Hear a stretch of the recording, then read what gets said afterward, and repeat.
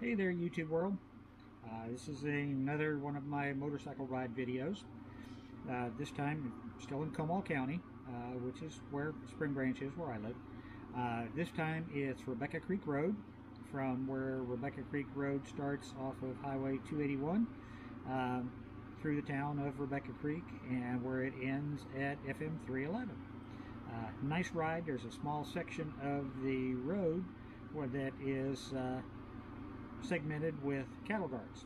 Uh, apparently, the landowner sold part of the road to the county uh, through his property, property, and so occasionally you'll see uh, cows or bulls along the side of the road, and there was some along this uh, little stretch of the road. you'll also see the Guadalupe River. The Guad is one of the most popular rivers here in the San Antonio, New Braunfels area. Uh, a lot of my rides I'll be crisscrossing the Guadalupe in various areas. Uh, a lot of people use it for purely for recreation. Um, there'll be some kayakers and there were some fishermen down there when I crossed this segment. So I hope you enjoy. If you like it, please hit the subscribe button. Um, hit the like button. Tell the world that you enjoyed it.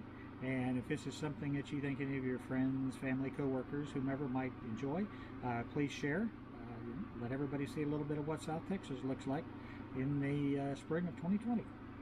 So get your helmet, get your boots, get your gloves, let's saddle up and go for a ride.